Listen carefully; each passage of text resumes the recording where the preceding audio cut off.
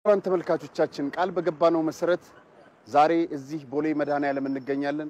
ቦሌ መድኃኔዓለም የአራት ጄኔራሎች እዚህ አካባቢ መሬት በነፃ ወስደው ተቀራምተው ከኢትዮጵያ በተዘረፈ ሀብት የገነቡት ህንፃ ነው። ይሄኛው ህንፃ ብሌን ህንፃ ይባላል። ብሌን ህንፃ ማለት የወዲ አሸብር ተክላይ አሸብር የሚባለው ጄኔራል ዛሬ ጁንታውን ተቀላቅሎ በሰሜን እዝ ላይ ጥቃት ከፈጸሙትና በኢትዮጵያ ምድር ትግራይ ላይ መሽገው ጦርነት ከከፈቱት አንዱ ወዲ አሸብር ነው። የወዲ አሸብር ህንፃ ነው። ይሄ በሙስና የተገነባ በመሬት በነፃ ሁሉ ተወስዶ ማለት ነው። የሚገርመው ነገር ከጀርባ የጆቤ ህንፃ አለ። በዚህ በኩል የመኮንን የሚባል አለ። ከታች ደግሞ የምግበ ቤት አለ። ዛሬ ሁሉንም እያንዳንዱን ተራ በተራ እናያቸዋለን። ይህ ህንፃ አኖን ህንፃ ይባላል። የመኮንን ገብረ ማርያም ወይም ወዲ ኮቦል የሚባለው የእሱ ህንፃ ነው። እንግዲህ ከወዲ አሸብር ጀርባ ማለት ነው። ይሄን እንግዲህ ዙሪያውን የምትመለከቱት በጣም ሰፊ ነው። በብዙ ሺህ ካሬ ሜትር ላይ የሰፈረ ነው። እንግዲህ ይሄን መሬት በነፃ ተወስዶ ከዚች ሀገር በተዘረፈ ሀብት እና ገንዘብ የተገነባ የሙስና ህንፃ ማለት ይቻላል እና እንግዲህ እዚህ አካባቢ በብዛት ነው የወረሩት። እያንዳንዱን እናየዋለን። ይሄ ወዲ ኮቦል የሚባለው የእሱ ህንፃ ነው። ይህ የምታዩት ቤት የምግባ ኃይሌ ወይም የጀኔራል ምግባ ኃይሌ የህዋቱ ጀኔራል ቤት ነው። እንግዲህ G plus one ነው። እንዴት እንደተሰራ ተመልከቱት። ከኢትዮጵያ ህዝብና መንግስት ከኢትዮጵያ ህዝብ ንብረት በተዘረፈ ገንዘብ ነው ህንፃ የተሰራው ወይም የተገነባው የሙስና ቪላ ማለት ይቻላል። የሚገርመው ነገር ይህ ቤት በመንግስት ቁጥጥር ስር ሲውል ግቢ ውስጥ አዲስ ሀመር መኪና ተገኝታለች። ለሚመለከተው የህግ አካል ተወስዷል እና እነ ምግበ እንግዲህ ዛሬ እነዚህን ቪላዎች ይዘው ነው እነዚህን ቪላዎች ለማስመለስ ነው የትግራይን ወጣት እያስጨረሱ ያሉት ወደ ነበሩበት ንብረታቸውን፣ ገንዘባቸውን፣ ሀብታቸውን ለማስመለስ ዛሬም ድረስ ጦርነት ቀጥል የትግራይ ወጣት ተነስ እያሉ ያሉት ለሶስተኛ ዙር እልቂት እያነሳሱ ያሉት በነገራችን ላይ በዚህ ከዘረፋው በተጨማሪ ምግብ ኃይሌ በጨካኝነቱ ይታወቃል። ተከዜ ወንዝ ላይ ስንሻገር የእዛ ያሉ ይቅርታ፣ ተከዜ በረሃ ላይ ስንሻገር እዛ ያሉ ዘንዶች እና አዞዎች እኛን ስለሚያውቁን ዝም ብለው ያሳልፉናል አለ። የመከላከያ ሰራዊት ሲመጣ ይበሉታል። እጅና እግራቸውን እየሰጡ የትግራይን ወጣቶች ለዘንዶና ለአዞ በመስጠት ያንን ወንዝና ያንን በረሃ ያቋርጡ ነበር። ስድስት ጊዜ ይሄንን አድርገዋል። ሰውነታቸው ሬሳቸው የተነፋፋ ወጣቶች፣ አዛውንቶች የተበሉ ግማሽ ሰውነታቸው ብዙ ነገር የተገኘው ይሄ ጀኔራል ምግብ ኃይሌ የተባለው ለአዞ የዳረጋቸው ናቸው። በራሱም አንደበት አምኗል እና አዞን የሚያክል አውሬ የህወሓትንና የመከላከያ ሰራዊትን ሲለይ በጣም ነው የሚያሳዝነው። ስለዚህ ይህንን ለማስመለስ ነው የትግራይ ወጣት ማወቅ አለበት። እነዚህን ህንፃዎች፣ ቤቶች በሙስና የተገነቡ በዘረፋ ሀብቱ የተገኙ ቪላዎችን ለማስመለስ ነው ጦርነት እያካሄዱ ያሉት።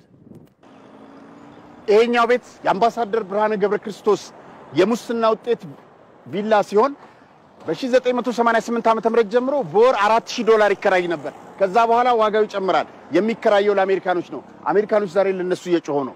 የሚቀጥለው ቤት ይሄኛው በሙስና የተገነባው ቤት በ1988 የአምባሳደር አዲስ ዓለም ባሌማ ቤት ነው። ይሄም የሙስና ውጤት ነው። ይሄም ቤት በተመሳሳይ 4000 ዶላር ይከራይ ነበር። የአዲስ ዓለም ባሌማ እህት የአምባሳደር ብርሃነ ገብረ ክርስቶስ ባለቤት ናት። እንዲህ ነው ተዛምደው ሀገሪቱን ሲዘርቁና ሲዘርፏት የኖሩት። እዚህ ቦታ ላይ በዚህ መሬት ላይ ይኖሩ የነበሩ ገበሬዎች ካሳ ሳይሰጣቸው ለመሬት በኃይል በነፃ እንዲፈናቀሉ ተደርጓል። እነሱ ይህንን የሙስና ውጤት ሲሰሩ በጣም የሚያሳዝነው ገና ስልጣን ላይ ከመጡ አራት ዓመትና ሶስት ዓመት አይሆናቸውም። እነዚህ ቪላዎች ለመገንባትና ለማከራየት ሳይሰሩ በስርቆት ከዚች ሀገር በተገኘ ሀብትና ገንዘብ የተገነቡ ቪላዎች ናቸው።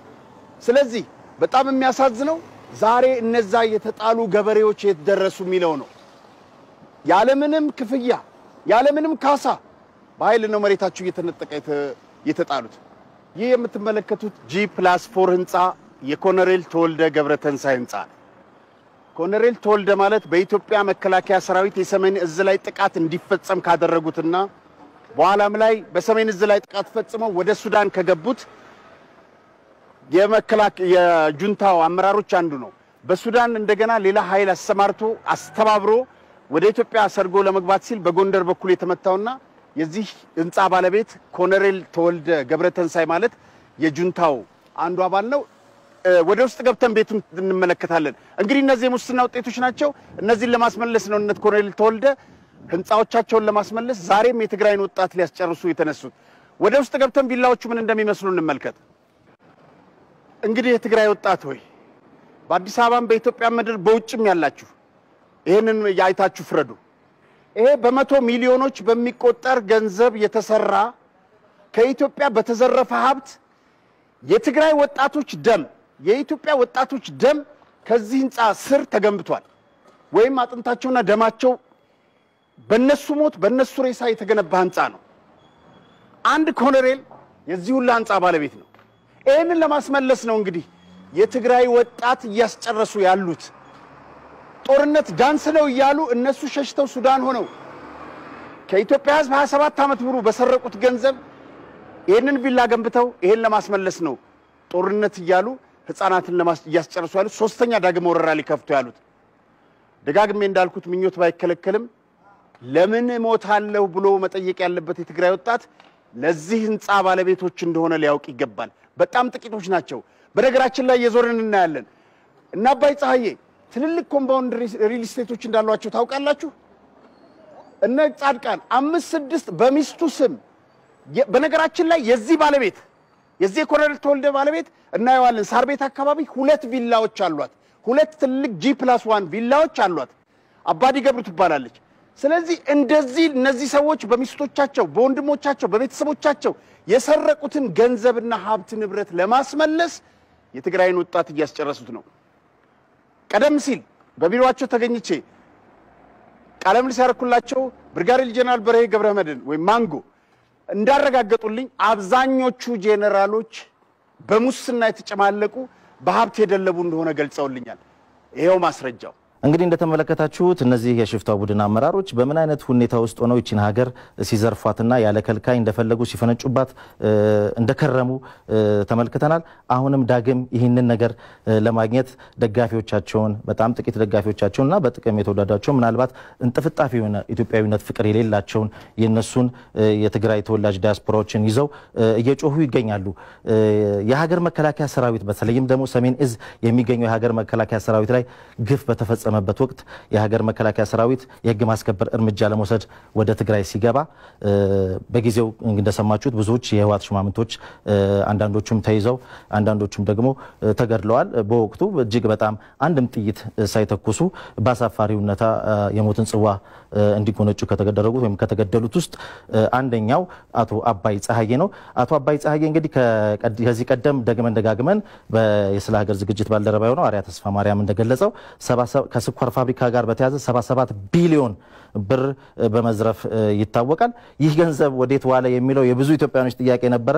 ኢትዮጵያውያንን ስኳር ያሳጣው አቶ አባይ ፀሐዬ እሱና ዘመዶቹን ምን አይነት የጣፈጠ ስኳር ሲያበላቸው እንደነበረ በቀጣይ በምንመለከተው ቪዲዮ ላይ እናያለን። የአቶ አባይ ፀሐዬ በጣም ከተማን አዲስ አበባ ከተማን በብዙ ሺህ ቦታዎች በተለይ ከአንድም ሁለት ቦታዎች ላይ የተቆጣጠረበት ሪል ስቴት ማን ነው? የትስ ይገኛል? ምን አይነት ህንፃዎችን ሲገነባ ነበር?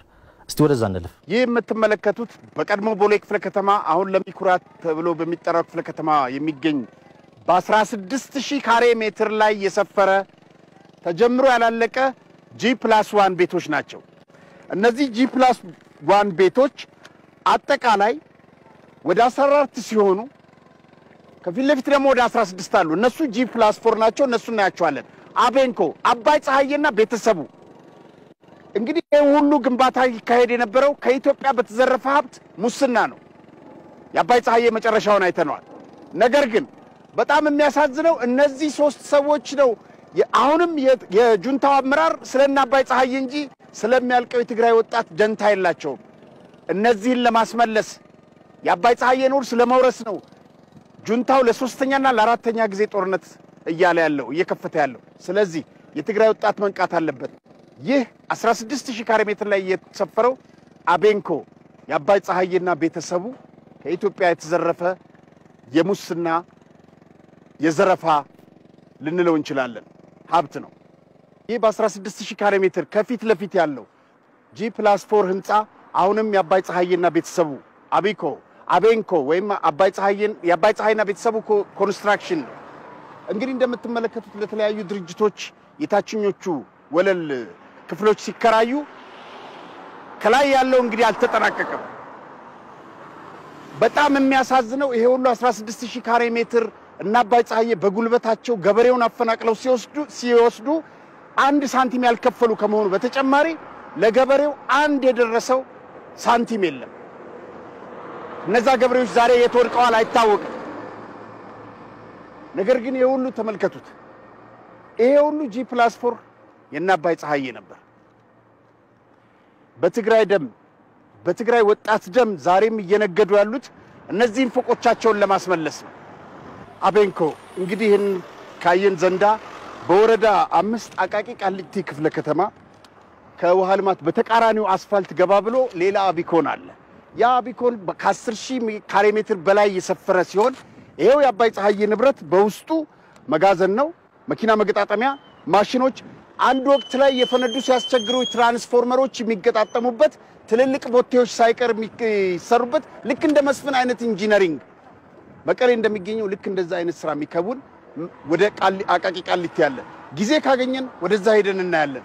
እነዚህ ሰዎች በሌብነት አገሪቱ ላይ እንዴት ተንሰራፍተው እንደነበር አጥንቷን አስቀርተዋት ግጠው አገሪቷን አጥንቷን አስቀርተዋት እንደነበር እነዚህ ህንፃዎች ቀጥሎ የምናያቸው የተለያዩ የነ ጀነራል ጻድቃን የሁሉም ቪላዎችና ህንፃዎች በቂ ምስክሮች ናቸው። በነዛ ህንፃዎች ውስጥ የወጣቱ ደምና አጥንት አለ። የገበሬው በነፃ የተነጠቀው መሬት የገበሬው ላብ አለ፣ እምባ አለ። ስለዚህ አገሪቱን በእንደዚህ አይነት ሁኔታ ነው ሲቀራመቷት የኖሩት። ይህ የምትመለከቱት ህንፃ ኮሎኔል ፀሐዬ ኪዳኑ የተባለ የጁንታው አመራር ህንፃ ሲሆን ለዓለም አቀፍ ቀይ መስቀል ሰዎች በወር 21500 ዶላር የተከራየ ህንፃ ምን ያክል ገንዘብ እነዚህ ሰዎች በዘረፋ ከገነቡት በበለጠ በተጨማሪ ምን ያክል በየወሩ በዶላር ይዝቁ እንደነበር ይሄው ማስረጃው 21500 ዶላር። በተጨማሪ ባለቤቱ አበባ ይገዛ ቦሌ ወረዳ 3 የቤት ቁጥር 178 G plus 1 ለ UN ዋና ዳይሬክተር አከራይታለች። የማን የኮሎኔል ፀሐዬ ኪዳኑ ባለቤት።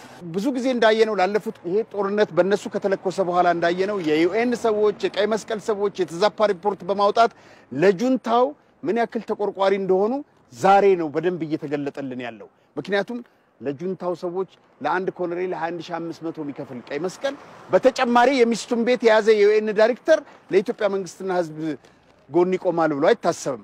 ምክንያቱም ከነዚህ ጋር የነበራቸው ትስስር ይህንን ይመስላል። በተጨማሪ አራት የተለያዩ ቪላዎች የጻድቃን G plus one ቤቶች ለዩኤን ሰዎች ለዓለም አቀፍ ቀይ መስቀል ሰዎች ነው የተከራዩ። እናም በተጨማሪ ለአሜሪካኖች እነዚህን እንግዲህ አሁን ሰዓቱ እየሄደብን ነው፣ ግን እናያቸዋለን። የፀሐዬ ኪዳኑ የኮሎኔሉ ቤት ይህንን ይመስላል። የጁንታው አመራር የትግራይ ወጣት ማወቅ ያለበት ዛሬ እነሱ ወጣቱን ለማስጨረስ የተነሱበት ዓላማ እነዚህ ህንፃዎቻቸውን ለማስመለስ ነው። በወር የሚያገኙትን 1500 ዶላር መልሰው ለማግኘት ነው። ይሄ የቅዠት ህልም ቢሆንባቸውም ነገር ግን ዛሬም ወጣቱ እየረገፍክ እየሞትክ ያለኸው ትግራይ ትስዕር እየተባልክ ትግራይ ታሸንፋለች እየተባልክ ያለው እነሱ እነዚህን ህንፃዎች ለማስመለስና ለማሸነፍ ነው። ይሄ እንግዲህ እንዳልነው ህልም ቢሆንም ነገር ግን ዋናው አጀንዳቸው ይሄ ነው። ይሄ ከሙስና ከዘረፋ የተገኘ ህንፃ ነው። ይህ የምታዩት ቪላ ሜጀር ጀነራል ፍስሐ ማንጁስ የተባለ በመከላከያ ሰሜን እዝን አርደው ጥቃት አድርሰው ወደ ሱዳን ከገቡት አንዱና ተፈላጊ ዋና አሸባሪው እሱ ነው። በነገራችን ላይ ፍስሐ ማንጁስ እዛ ሱዳን ውስጥ ሆኖ በዩኤን መኪና እየተንቀሳቀሰ እዛ የነበሩ የትግራይ ተወላጆች እዛ ካልቀራችሁ ቤተሰቦቻችሁ እርዳታ አይሰጣቸውም፣ መድኃኒት አይሰጣቸውም በማለት የተወሰኑ የትግራይ ተወላጆች የሆኑ የኢትዮጵያ መከላከያ ሰራዊት አባላት እዛ እንዲቀሩ ያደረገ ነው። በነገራችን ላይ ድርጅቱ ቤቶቻቸውን ከኢትዮጵያ ሕዝብ በተዘረፈ ገንዘብ እነዚህም ቪላዎች ካሰሩ በኋላ ለማን እንደሚያከራዩት ተመልከቱ። ለተለያዩ የአሜሪካን ዜጎች ነው የሚያከራዩት፣ ለተለያዩ የአሜሪካን ድርጅቶች፣ ለዩኤኖች፣ ለቀይ መስቀል፣ እነዚህ ሁሉ ለአሜሪካ ድርጅቶች ነው የሚያከራዩቸው። እነ ፍስሐ ማንጁስ በሽብርተኝነት ተከሰው እያለ ሱዳን ውስጥ ግን በዩኤን መኪና ነው የሚንቀሳቀሱት። የአሸባሪው ፍስሐ ማንጁስ ቪላ ይሄ ነው። ይሄ ብቻ አይደለም። ይሄ ቪላ በወር 6000 ዶላር ነው የሚከራየው። ከዚህ በተጨማሪ ሌሎችም ቦታዎች አሉት። እነዚህ ጠቅላላ የሙስና ውጤቶች ናቸው። ለዛሬው በዚሁ ይብቃን። ካሜራማኑን አመሰግናለሁ። ቀኑን ሙሉ ከኔ ጋር ሲንገላታ ነው ያለው። በሚቀጥሉት ሳምንታት ደግሞ የነጻድቃንን ቃሊቲ ያለውን የእነ አባይ ፀሐይን የሌሎች ኮሎኔሎችና ጀኔራሎችን ቤቶችና ቪላዎች የሙስና ውጤቶች ይዤ እመልሳለሁ። አመሰግናለሁ።